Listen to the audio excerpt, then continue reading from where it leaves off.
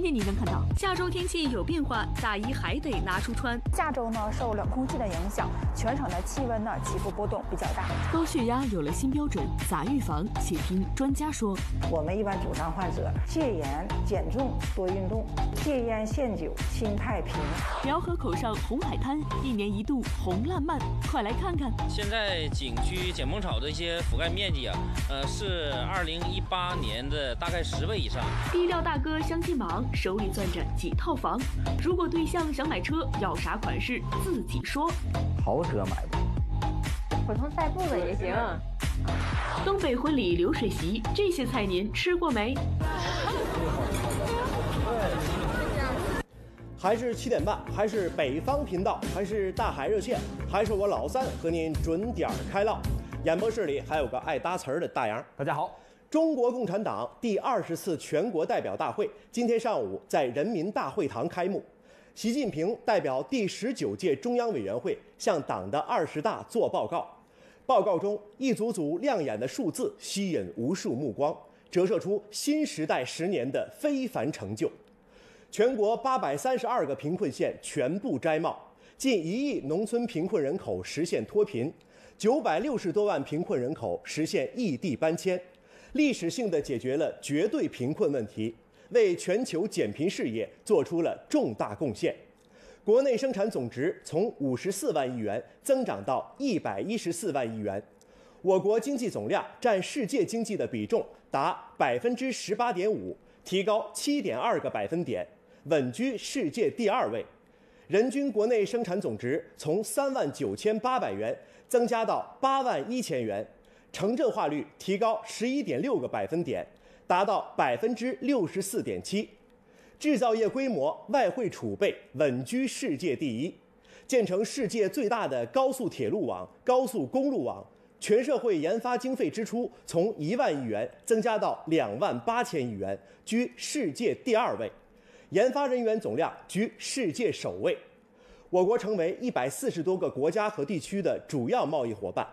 货物贸易总额居世界第一，人均预期寿命增长到七十八点二岁，居民人均可支配收入从一万六千五百元增加到三万五千一百元，城镇新增就业年均一千三百万人以上，基本养老保险覆盖十亿四千万人，基本医疗保险参保率稳定在百分之九十五，改造棚户区住房四千二百多万套。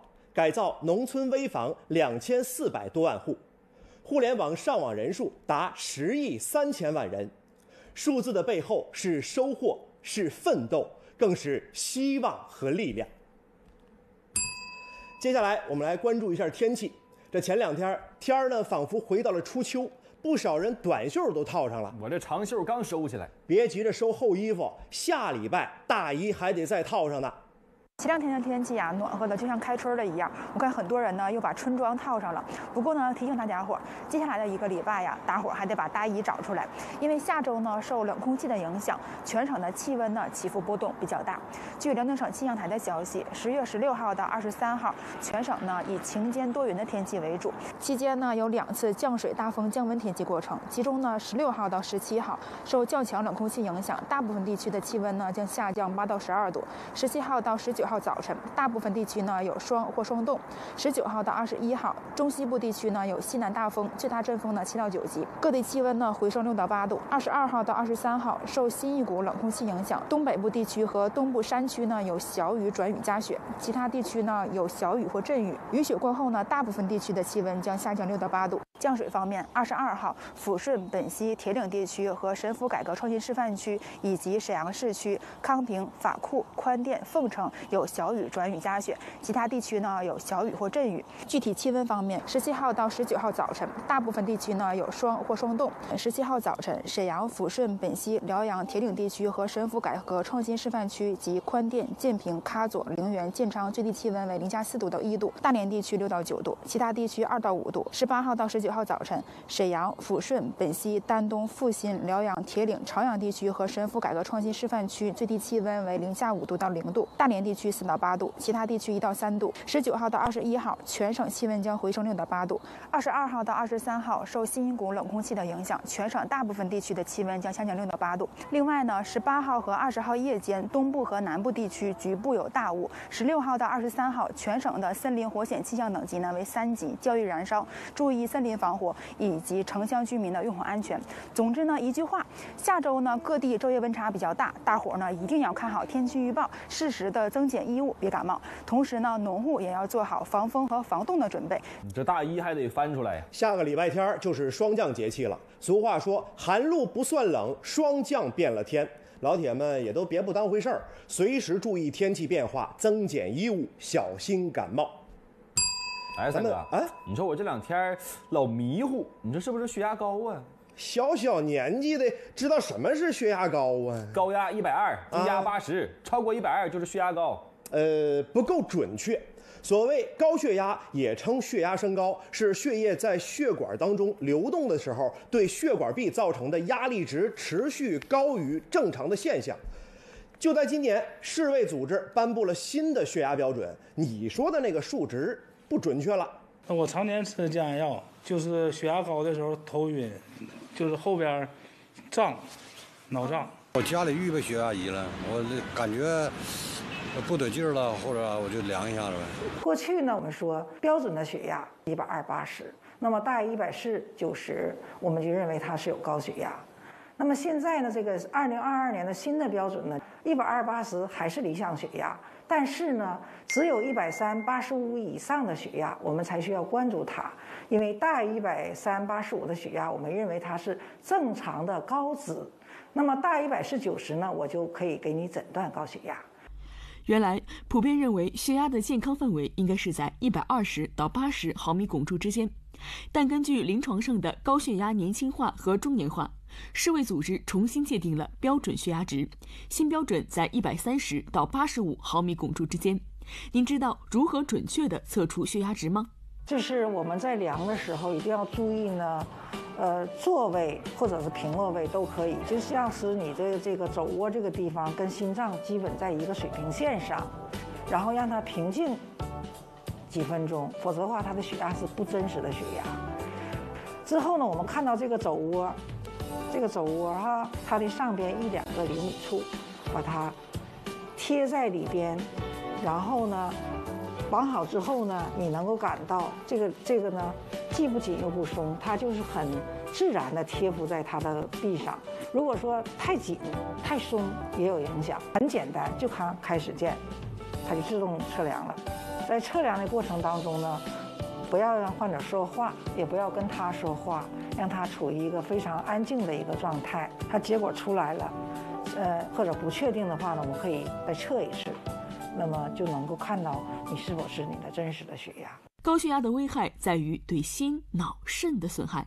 与没有高血压相比，高血压患者的心力衰竭危险增加六倍，中风危险增加四倍。高血压在我们医疗界呢，我们称它为无声的杀手。除了一部分人有头痛、头晕之外，很多人连症状都没有。而这个高血压呢，对我们的心、脑、肾以及我们的眼底，还有我们的就是各个血管。全部都有这个危害，所以我们这就叫做靶器官的损害。专家建议保持良好的饮食起居习惯，对预防高血压非常重要。我们一般主张患者戒盐、减重、多运动，戒烟限酒，心态平。那么我说这个最重要，这个心态平衡。当你出现焦虑或者抑郁的时候，或者经常愤怒的时候呢，我们身体内会分泌激素，这些激素呢会使我们的心率加快。心波量增加，久而久之呢，也就会使我们的血压增高，也会发生心脑血管疾病。按照新标准，对于老年人来说，血压在一百四到九十以下，我们就认为是很理想的血压了。考量血压数值，还要针对个体的不同情况。如果说咱们只是单纯的高血压，没有心脑血管疾病、肾脏的疾病，可以先改善一下生活方式。经过一段时间的调整之后，血压如果还高，那这个时候就需要去医院了。接下来咱们要说一处风景名胜，游山玩水，那可以降低血压。你倒是挺会联系。哥给你介绍这地儿叫盘锦红海滩观景廊道。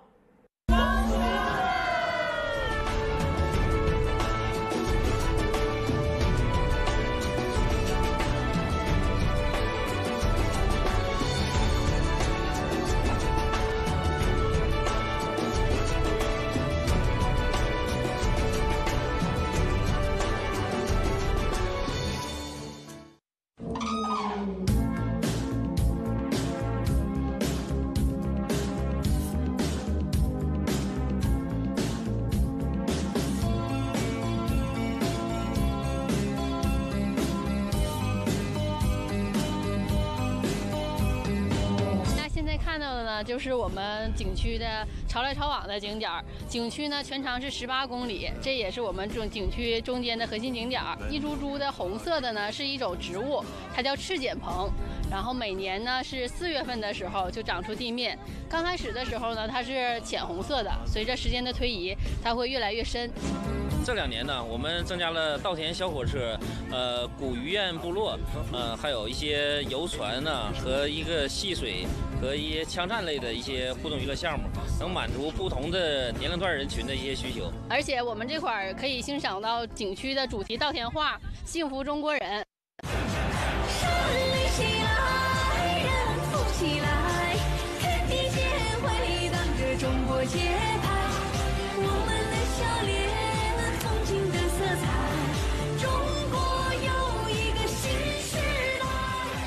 景区啊，这么几年呢，也是从观光型的景区呢，逐渐向生态文明和这种互动的型呢进行一转变。现在景区剪萌草的一些覆盖面积啊，呃，是二零一八年的大概十倍以上。只有生态好了，环境好了，剪萌草才能长得好，也是吸引游客的一个重要的一个因素。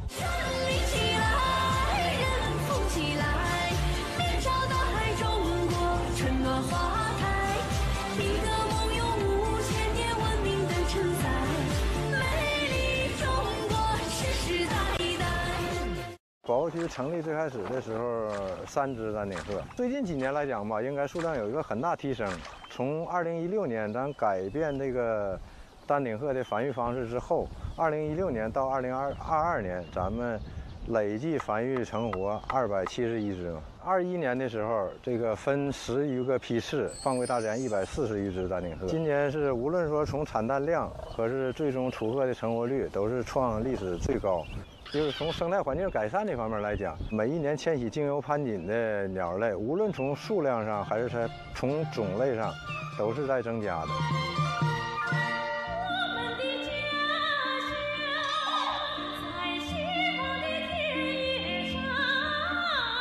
现在提一个叫什么生态宜居，包括什么碧水蓝天工程、退养欢适工程，也是给鸟留一片天地，给咱们人留下一片美好的环境。最终目的，在保护区范围内，龙舍不存在了，回到大自然当中去了，到野外还会看到这些孩子们。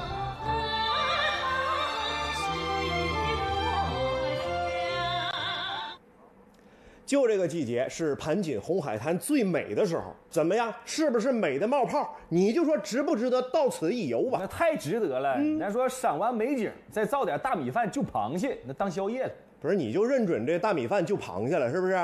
好吃、好看又好玩，大美盘锦转一转。只要时间允许，大家伙在做好防护的情况下，都不要错过这个好机会。哎呀，挺长时间没给大伙儿唱两句了哈，我就想到一首歌，我贼拉拉的爱你，我爱你胜过稀罕我自己。我这一看呐，这是又要相亲了。我跟你说，我等这贼拉爱你，我都等一个礼拜了。今天出场的是一位男嘉宾，要说大哥最大的特点就是不差钱儿。众里寻他在何处？贼拉爱你靠得住。我是耳听八方，眼观六路，能说会道，贼拉能唠的红娘梦瑶。终身大事交给我呀，您就瞧好吧。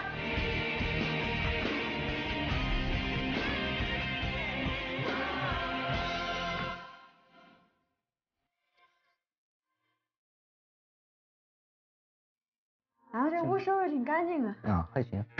上午是上午特意收拾的，还是没有，平时反正也差不太多。是吗？王英慧，五十二岁，职业是银行职员，现居住在沈阳市和平区。我转一转，这是主卧呗，这就对您住这呗。对，这收拾挺立正的哈，您。这卧室也挺大，这床也挺大啊。对，这个房子当时买的是二手房，嗯嗯我是零八年买的，嗯正好奥运会嘛那年。看得出来，王大哥是个立正人儿。王大哥原本是和父母一起生活，今年王大哥的母亲患病离世，大哥的父亲怕触景生情，选择了去养老院生活。因为我爸现在身体正就是身体很好啊，五脏六腑什么的体检都没问题，哦所以说生活完全自理。哦他在那儿就就是退休金足够用。王大哥也开始了一个人的生活，每天除了上班，闲暇的时候就是宅在家收拾屋子，或者去楼下的公园散散步。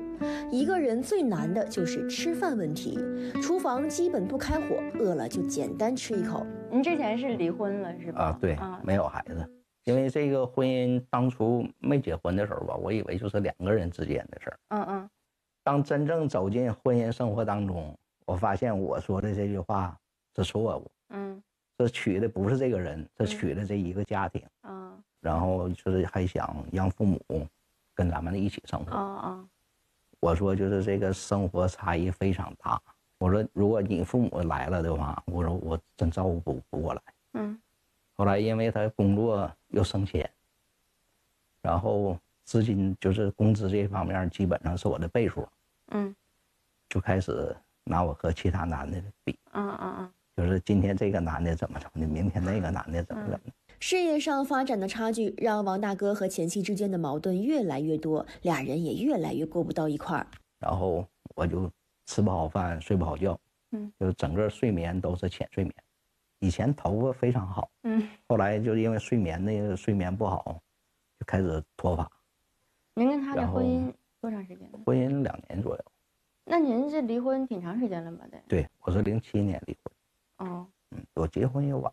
这些年，王大哥也在尝试着找个伴儿，但是好几次相亲却都是以失败告终。我两个人处好了的话，这钱肯定是两个人。嗯就是说，你不能说跟我第一次见面就谈到这个问题，嗯然后就因为这个就黄了能有三四个。另外一个，我还有几处房子，嗯我这些房子都是婚前财产，嗯就跟你没有任何关系，嗯嗯对不？我要是处好了，以后卖完这房子钱是你的我的，咱可以不算，嗯对不？就是大家一起用。嗯嗯但是这个我不能答应说，我卖完这房子钱就归你。要说这王大哥经济条件是真不错，不仅手里攥着三套房，还有一些理财产品。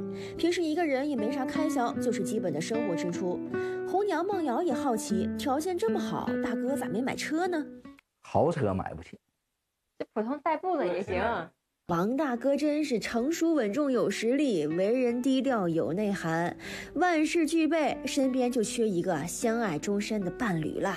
我就想找一个沈阳市，在沈阳市的，嗯嗯然后父母呢都是单位退休的，就是基本情况跟我接近。嗯，就是然后父母也没有负担呢。对嗯，离婚单身或者是离婚条件好带女孩的都可以，哦嗯嗯身高一米五八到一米六三左右，嗯嗯，您多高啊？我一米七二。啊，另外一个我不想找跟我岁数非常接近，为什么呢？反正心里就是这么想，啊就是 因为我前一段婚姻就是只比我小一岁，哦然后就是说，因为女性可能成熟早啊什么的，反正想法就是远远超出我的想象，哦，所以说很多事情就是我都跟不上步伐。您看看，干净利整，房子、车子都一步到位，你就说这男嘉宾条件行不行吧我？跟你说，这都容易抢的打起来了。来吧，姐妹们，就这条件啊，都还秀密啥呢？先下手为强。人家王大哥没啥过高的要求，只要你真心对他好，一心过日子，什么事儿咱都可以研究。一个电话，这缘分说不定就来了。记住咱们的相亲电话零二四二三幺八七二二二，或者扫码抢红包加会员，来到咱们的会员平台，把您的要求和条件都发过来。哎，三哥，哎，我看我身边的不少同学都陆陆续续结婚了，你啥时候结婚呢？咋的？你那红包在兜里面装不住啊，太厚太多呀。没事儿啊，你隔三差五你就往外甩，你甩哪你告诉我，我过去接去，是不是？还操心上我了？你合计合计你自己个儿吧。红包是甩不动，那主要是想吃席了。好家伙，在这儿等着呢。说到吃席，我估计老铁们肯定也都经历过。小时候城里的婚礼流水席，乡村的聚会流水席，还有冬天的大棚流水席，那满满的都是回忆呀。有一位网络博主叫小白，专门分享了在东北生活的日常，粉丝小两万。他拍的真是特别有意思。一次他参加辽宁沈阳的流水席，那家伙童年记忆呀。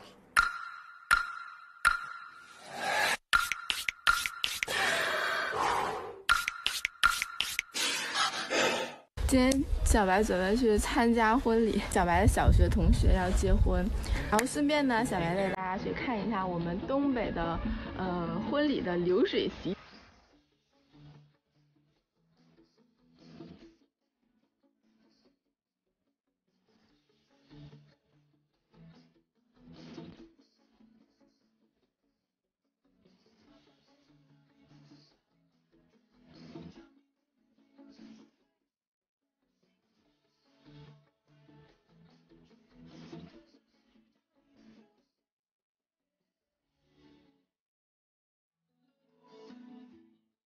瞅瞅这一口口的大锅，满桌满盘的菜，小感觉嘚儿一下就上来了。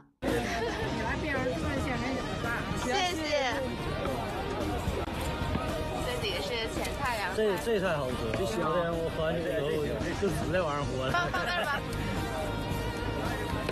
前菜一般都以凉菜为主，东北大拉皮儿、黄瓜猪耳朵那都属于是常驻嘉宾了，开胃又解腻。不过咱东北老铁那指定是无肉不欢，这不硬菜来了。硬菜。放底下吗？放。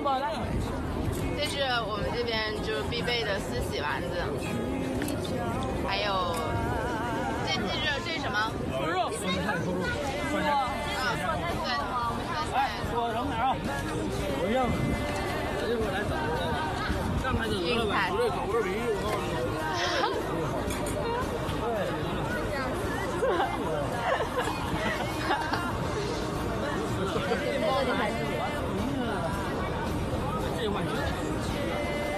这是。溜散样儿，对，是吧？我一千块钱给给给白瞎，啊，过了过哎呀，这个是我小时候最喜欢吃的菜了。是啊。四喜丸子、大肘子、酸菜扣肉、溜三样，流水的厨师，铁打的菜，每一道啊都必不可少，回忆满满。不过聪明的老铁肯定察觉到了不对劲儿，指定是少点啥。麻别上头找点酱油没有？你哪啥也没有啊？有肉肯定得有鱼呀，这大鱼大肉都吃了，最后一步喝点汤到位。上了这个汤之后就就没有了，这就是最后一道菜，我们东北。这都是经典大菜，那说咋没人叫我去呢？叫你干啥去？你跟人不认不熟的，光去蹭吃蹭喝啊？那随份子我也愿意呀。难怪这大洋不淡定。你看那大肘子、大柿喜丸子，哎，我就光看看，嘴里头都咂不出来那个味道了，香啊！老话不说吗？一方水土养育一方人。总结起来，咱们东北办流水席一般都是先上凉菜开开胃，哎，然后呢以肉菜为主，后上硬菜。像大连这种靠海边的城市哈，一般的还喜欢整点海鲜啥的。那我老家那大鲍鱼、大螃蟹，这那那都得有。真是这流水的厨师，铁打的菜单啊。那么电视机前的各位老铁，你们都吃过什么样的流水席呢？刚才大家还给我分享呢，说这家伙我我我去了之后，那一桌吃不饱咋办呢？我说你这桌吃不饱，第二桌开席你可以再去蹭去。欢迎各位啊，扫码抢红包加会员，来到咱们的会员平台，分享一下你都经历过什么样的流水席。被念到留言的伙伴可以获得大海热线的文化衫一件。马上您将看到剑走偏锋寻妙招，自创方法真有效。已经半个月洗头没有用洗发水了，整个头发都长出来了。牛奶过期不要扔，拿来敷脸能美白，你信吗？不靠谱，我觉得还可以吧。这个应该可以。寓教于讲有创意，啥样奖励引路赞。罗少群的小猪奖励的小猪买了，看，重回了。都说沈阳老建筑，青春回忆藏不住。我身后这个呢，就是老五里河体育场的 V 字形的大雕像。那但我看到啊，现在就剩下几座了。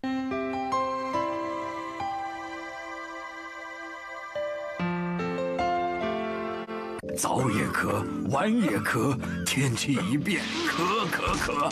老慢支，老咳喘。老不好。快用好舒宝，走也喘，坐也喘，动不动就喘喘喘。老慢支，老咳喘，老不好。快用好舒宝，好舒宝牌黄金油胶丸，采摘广西大峡谷黄金树嫩叶，一公斤浓缩提取一克黄金油，药力大，药效强。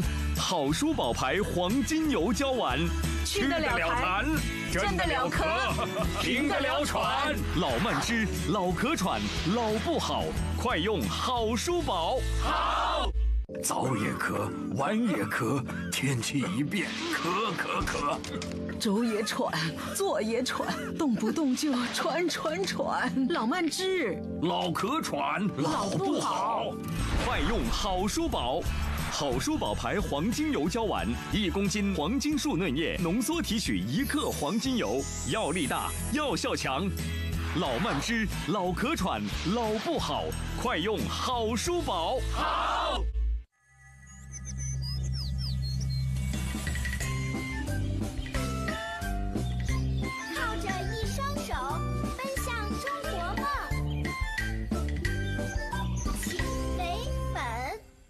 中医传承，匠心悠远。高真堂弘扬中医文化，全生命周期，诊疗养一体医疗连锁，对常见病、慢病、疑难病，一人一方，辨证施治。高真堂道地药材，秘法炮制，打造膏方精品，中华膏方专家，伴您健康百年。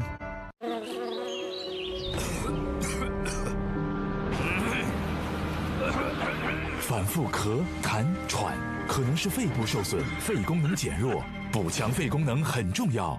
养无极牌补肺丸，补肺益气，止咳平喘，补强肺功能。经常咳，补补肺吧。痰多痰黏，补补肺吧。反复喘，补补肺吧。补肺丸，补强肺功能。肺部有气力，干啥都给力。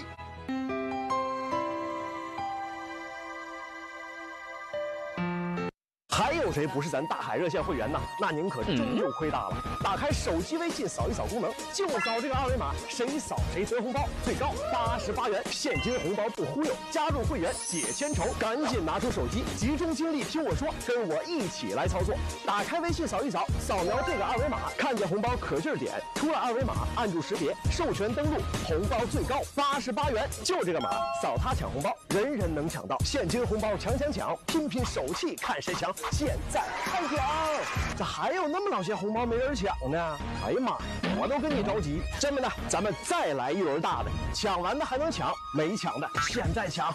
还是扫这个二维码，进入抢红包页面，点击右侧转发按钮，出来个大海兄弟的海报，按住识别，转发给亲朋好友，他们加入会员，你还能抢现金红包。有能耐你就转发给一百人，他们加入会员，你就有一百次抢红包的机会。拼人气的时候到了啊！买彩票中奖有概率，扫咱们这个码，保你能中奖。大海热线就敢说这话。亲爱的各位家人，大海热线正在发放现金红包。刚才掏手机没赶趟的，现在拿出手机，打开微信，瞄准屏幕下方的二维码就开扫。您这边拼手气抢红包加会员，咱们接着跟您唠。说我从陇上走过，陇上一片秋色。那爆米碴子再给你别卡喽。你这是没有情怀。就这个季节，你不往辽东溜达溜达，那都白瞎了。哎，老丈人有话了啊，说啥都要登高，还不明白啥意思吗？要爬山了，那必须来整一个辽东第一山凤凰山，走你！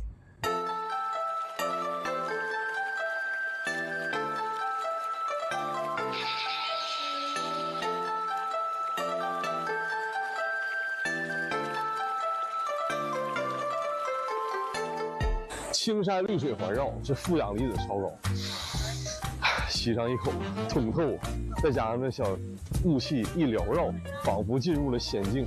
哎，没错，这就是咱们一个开胃小菜——仙人湖。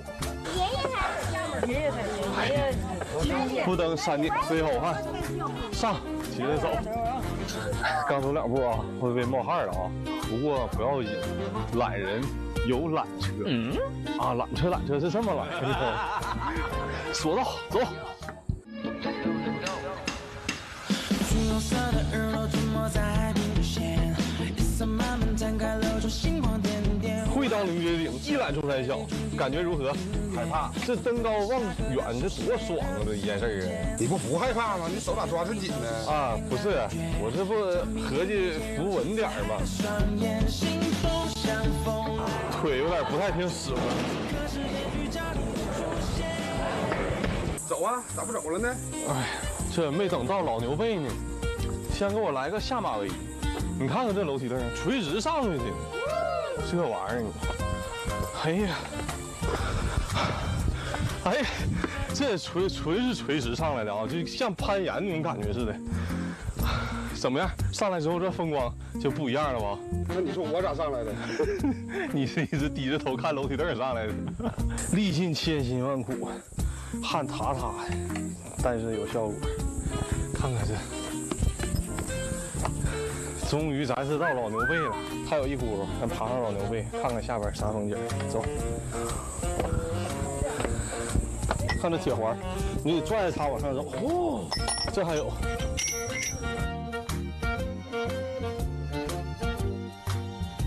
翻过老牛背，就来到了玻璃栈道。遇到凡事不要慌，掏出手机，先发个朋友圈。松开手啊！哎，我没事儿，哎，我走不怕，我这要不往下走就没。你挺尖呢，这中间玻璃栈道，你搁边上这水泥地走。啊，我感觉这地方还安全。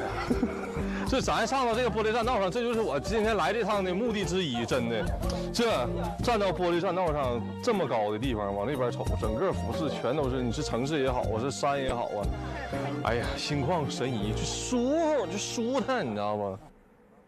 这爬老牛背那段咋没有呢？回来我也问小唐了，我说你去干啥去了？你不到老牛背非好汉。人小唐说了，当时真爬了。这摄像老师呢，两只手抓着那个把手，始终就把摄像机他背身后了。这太不敬业了啊！第一个他是胆儿小，第二个他孩子还小，啥意思？怕有闪失呗。该说不说，挺遗憾啊，因为老牛背呢是凤凰山的代表性景点儿，其实没事儿，挺安全的。关键是咱这设备吧，它太大了，没办法扛。这么的，我保证下次我带着航拍去啊，高低让大伙儿感受一下无限风光再现风。这凤凰山确实美，值得一爬。另外呢，沈阳到丹东的这个这条路上，就这个季节，那就跟油画似的，非常值得一走。换个话题，要说现如今有一个毛病，让很多现代人都困惑，就是脱发。那是没选好洗发水儿。那话也不能这么说。最近有一位大哥，他剑走偏锋，声称发现了对付脱发的奥秘。已经半个月洗头没有用洗发水了，整个头发都长出来了。嗯，一开始一个星期洗头的时候没有用洗发水会油，然后呢，慢慢的有头皮屑。大哥称自己用清水洗头五个半月以后，头顶的发量变多了。他表示，不用洗发水，前几天可能头发会油腻，但十天左右清水洗后和使用洗发水的效果差不多。大哥的做法到底靠不靠谱呢？呃，我觉得其实并没有防脱的效果啊。那当然，我们是不太建议患者是天天用那种很强效的洗发水去洗头的。但是呢，如果用清水洗的话，因为我们头发每天都会分泌一些油脂，还有汗液，它呢会造成我们头皮的其实就会有一种油腻感啊，而且可能会里面产生很多的那种不饱和脂肪酸，这种其实对我们头发的生长是非常不利的。我们日常所处的生活环境中，各种灰尘、真菌都会吸附到头皮上。而清水洗头并不能有效的清除头皮的杂质，脱发的原因也很复杂。脱发呢，我们很多原因的。那从第一个来说呢，那就是遗传啊，呃，有其实有一半的人上面它是有遗传。另外呢，那跟我们生活有关系。那现在特别是很多的八零后、九零后，因为他同时面临工作的压力啊。医生表示，想要预防脱发，大家最重要的是要注意养成良好的生活习惯，少吃油炸油腻的食品。少熬夜，放松心情，也不能过度的减肥，造成短时间内体重快速下降。一般来说，洗发水只是短暂的作用于头发，并不能达到一个比较好的治疗脱发的效果。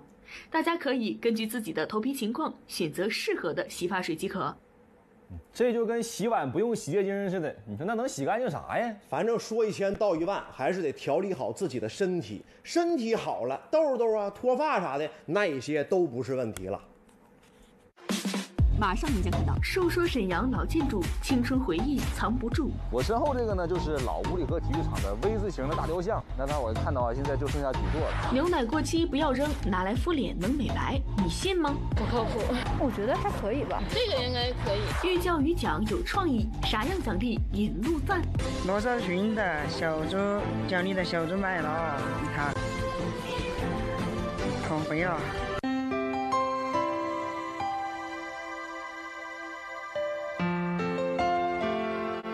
葛洪药膏一剂药浓缩二两膏，哪些人更适合葛洪药膏？风湿骨痛、肿胀痛，哪些人更适合葛洪药膏？慢性腰腿痛、反反复复痛，哪些人更适合葛洪药膏？腰痛、腿痛、关节肿痛，痛痛痛，哪些人更适合葛洪药膏？你的风湿骨痛，葛洪药膏正适合；你的慢性腰腿痛，葛洪药膏正适合；腰痛、腿痛、关节肿痛，葛洪药膏正适合。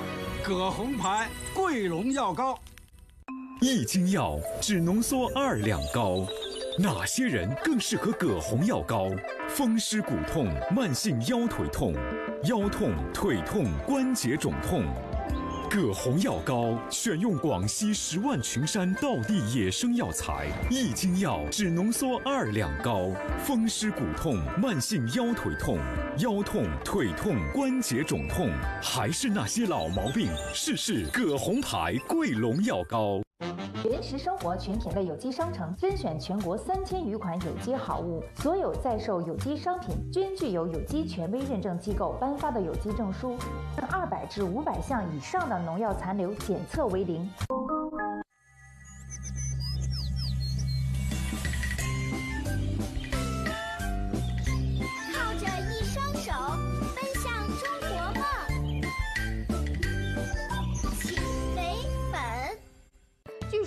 厨房小白都能轻松搞定的酸菜鱼预制菜，花短短几分钟就可以吃到饭店同款的酸菜鱼，不仅能喝汤吃肉，还能涮火锅，一袋多种吃法，喜欢的小伙伴们千万别错过哟！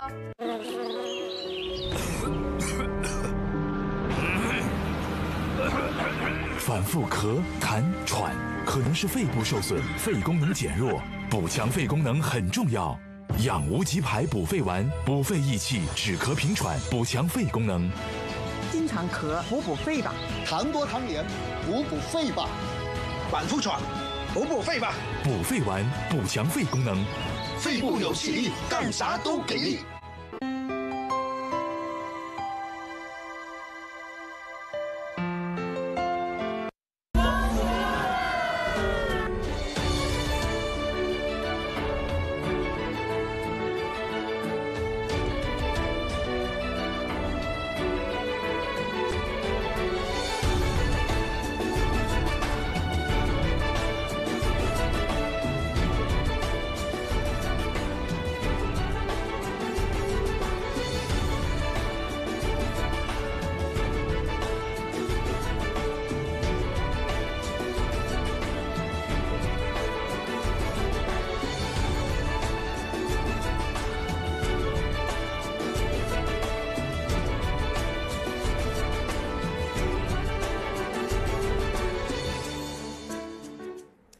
欢迎回来，老三陪你，你接着唠。接下来咱们要说的这个地方，我估计沈阳的不少老铁们肯定都不陌生，尤其是老沈阳人，因为这里呢曾经是咱们中国足球冲出亚洲、走向世界的地方，它就是沈阳五里河体育场。今天带大伙来看一看沈阳的地标区域五里河。你知道这块为啥叫五里河吗？五里河吧，在历史上是确有其河啊，又叫小神水。它的上游呢是万泉河，因为当时吧这块距离盛京皇城大概五里的位置，所以定名为五里河。但是现在的五里河呢，已经成了沈阳中央商务区和 CBD 的代名词了。但是在咱们老沈阳人心中啊，这块依旧是中国足球的福地和沈阳体育的圣地。而且这里呢，也是当年中国足球冲出亚洲、走向世界的地方。一提起这事儿，我就热血沸腾啊！这个五里河体育场呢，建于1988年，原先叫沈阳体育中心，能容纳六万多球迷。当时建完呢，是亚洲的顶级体育场之一。辽宁队当时就是在这里成为亚洲之王的。当时的亚洲杯决赛，辽宁队不负众望，击败日本横滨，夺得亚洲冠军，开创了中国足球的历史。当时的盛景啊，堪比欧洲冠军杯决赛。二零零一年的亚洲区十强赛，中国足球选择沈阳这个福地作为中国队的主场，你说神不神奇？中国队以五胜一平不败的战绩，提前两轮在沈阳就出现了，挺进世界杯，圆了几代人的足球梦。我跟你说，那天晚上的沈阳城是锣鼓喧天，鞭炮齐鸣。我身后这个呢，就是老五里河体育场的 V 字形的大雕像。那大伙看到啊，现在就剩下底座了。虽然呢，老屋里河体育场因为城市的发展和规划被拆除了，但是这里依旧是留下了几代人的激情岁月和美好回忆。飞很开阔，头一带一百，上中间扬，再起板中路，射门可见了。这场比赛进到了上场，三十五分五十秒，由十一号于根伟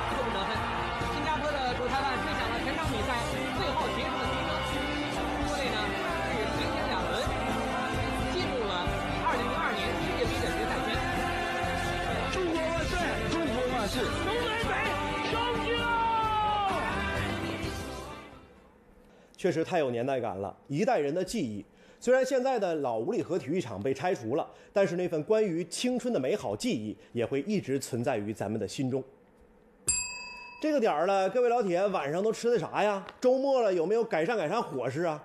这个时候我要说吃的，是不是有点拉仇恨了？那这么的，你明天试试咱们这个酸菜鱼啊，品牌没得说，全国连锁大品牌，原料是优质的黑鱼，酸菜精选四川眉山腌制满一年的老坛酸菜，黑鱼刺儿少，肉还筋道呢，都得腌好，然后呢速冻锁鲜，肉质才能够更加鲜嫩。用大骨汤这么一熬，鱼肉鲜嫩，酸菜脆爽，喝汤开胃，吃鱼解馋，酸菜拌饭。妈呀，你给我掀个跟头！大伙儿拿回家，什么调料也不用放，开袋儿放锅里边煮熟，直接能吃。喜欢吃、爱生活的老铁，赶紧拿出手机，扫描屏幕下方二维码，关注大海热线微信公众账号，在服务里面有一个北方嗨购，一点直接能下单。回头呢，给你快递到家，两大袋六十多块钱儿，你上饭店得多少钱呢？这多合适啊！哎，三哥啊，你看我最近白了没有？咋的？你还做美容去了？效果不太明显，我看还那样。啥美容啊？啊我这几天嘛，我天天拿牛奶敷脸呢，人家都说这么整美白。我的妈呀，太难得了！就大洋这么抠的人，居然舍得用牛奶来敷脸。但是我建议你啊，一次你可得少买点儿，你别跟小柳似的，家里面囤太多牛奶，过期了都不知道。哎，这牛奶味儿咋不太对劲儿呢？那不对劲儿，那别喝了，过期了吧？妈呀，我囤老多了，这都过期了，太浪费了。我有一个好想法，人网上有人说了，过期的牛奶不能喝，可以拿来敷脸美白呢。那玩意儿能行吗？都过期了。也对呀，那这过期的牛奶到底能不能拿来敷脸呢？不靠谱，过期了，我感觉对人身体肯定有害呀。我觉得还可以吧，这过期个几天，我觉得没有问题。我觉得敷脸不太靠谱，因为过期了里面可能会有细菌。从道理上来讲是不应该用的，是吧？你想想这个牛奶过期了，那肯定变质了，是吧？它腐败了，产生很多的微生物，最常见的有细菌、有真菌，甚至产其他的呃微生物。它产生了微生物以后，它就分解这种蛋白质啊，这种营养成分变成有害的物质，那对人体的皮肤甚至整个身体都不好。它细菌分解这些代谢产物啊，会对皮肤产生刺激，一是中毒的反应，再就是什么过敏的反应，所以皮肤出现红斑、丘疹、瘙痒、不舒服，严重的可以吸收到体内。你看我就说不行吧。看来吧，这没过期的牛奶用来敷脸确实没毛病，但是过了期的可千万不能往脸上用了。但是这过期的牛奶就这么扔了，太浪费了吧？肯定有别的好用处。嗯，老人好像有用它那个发面呢，做馒头什么的。然后有人说可以用它擦地板，就擦完了更亮，或者擦皮鞋。你觉得这说法？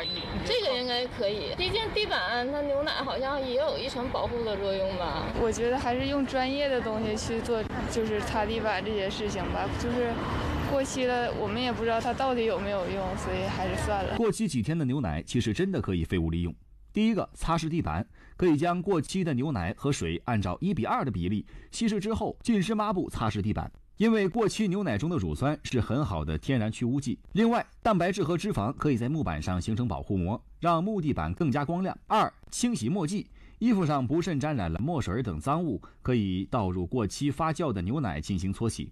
三、擦拭皮鞋，用软布将过期的牛奶涂抹在鞋面上，然后用干布擦拭，这样不仅能去除污渍，还能防止皮面干裂。原来是这样啊，学到了。那我家里这些过期的牛奶可算有用武之地了，我还以为得全扔掉呢，给我心疼坏了。不跟你说了，我赶紧回家呀，拿牛奶拖地板去了。你别说这牛奶的妙用还挺多哈，就是别说新鲜的了，就连过期的都有这么多用处。反正咱们就记住了，过期的牛奶你擦个地板了，擦个鞋啥的行，但是千万别往嘴里边送，也不能往脸上招呼。各位老铁，别挑台，广告过后，咱们来看看这个学校的奖励可不一般呐。马上您将看到寓教于奖有创意，啥样奖励引路赞？罗少群的小猪奖励的小猪买了，你看，好肥啊！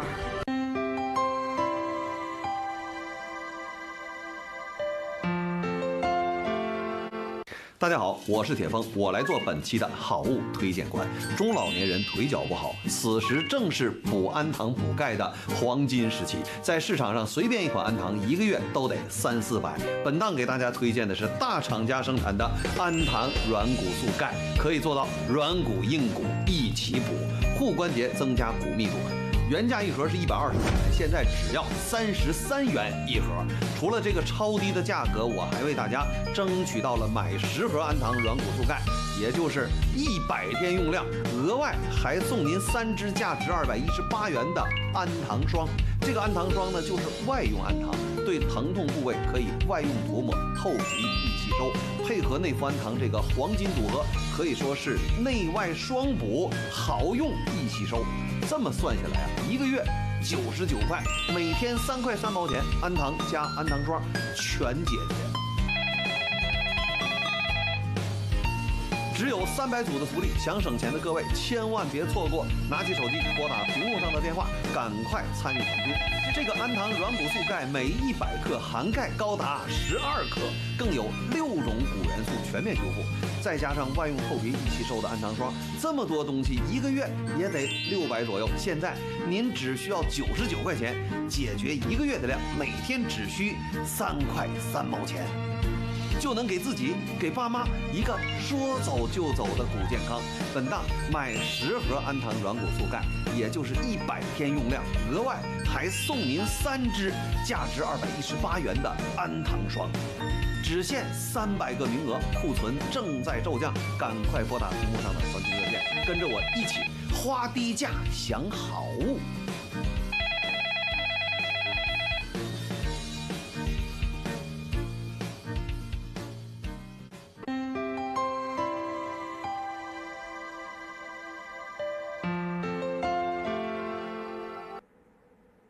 回来，老三陪您见。哎呦，这缺牙可咋办呢？种呗。说那话，那种牙可不像是买牙膏啊，种就得冲着用一辈子种去。跟你过是真省啊。那咋的？省钱不遭罪。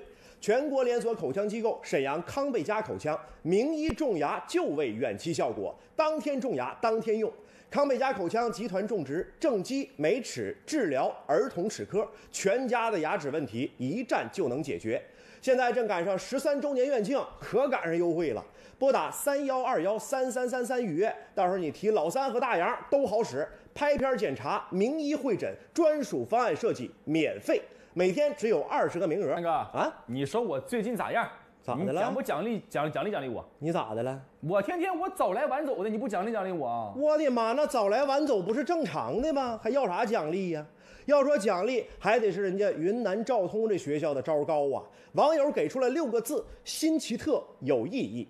孩子胸带大红花，爹妈个个笑哈哈，排队装袋领到他，特殊奖励拖回家。要问口袋装的啥？到了年底，全家乐开花。罗少群的小猪奖励的小猪买了，你看，好肥啊！没错，当初孩子们麻袋里装的就是他。二师兄，我长大了。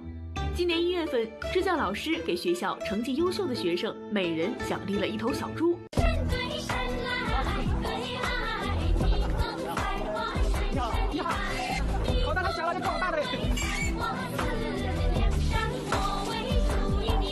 九个多月过去了，萌萌的小猪吃饱喝足，肥嘟嘟的肥猪成功出栏。啊，这一头小猪是我们三年级的一个学生得到的，是一头黄毛猪。昨天我们一位同事代课老师，然后他发信息告诉我说，他的小猪已经卖了，卖了四千多块钱。四千。真丁愣啊！网友们对于这种奖励方式也是众口不一。你看咱们的这位会员叫“明天你是否依然不爱我”，他说了，奖励孩子一头猪，万一猪得病了呢？那老师负责任不？学校负责任不？万一家长外出打工，孩子咋能一边养猪一边上学呢？还不如直接奖励二十斤猪肉呢。也是，也是啥呀？这就是认知的差距。你奖励一头小猪，这意义就不一样了。这是什么呀？希望的种子。哎，养大了能卖钱，还可以繁殖生小猪。小猪再长大，再卖钱，再生猪，再长大。我仿佛看到了一条致富发家道路啊！你看，就像咱们的这位会员叫东北人爱唠嗑，他说了：“送猪肉不如送小猪，这应该是授人以鱼不如授人以渔的最好诠释了。一辈子得到了实惠呀。”反正总之吧，支教老师是用心了，这些孩子有福气，继续努力，争取明年再给家里边带回一头猪。想要关注更多精彩资讯，请下载北斗融媒客户端。热心肠。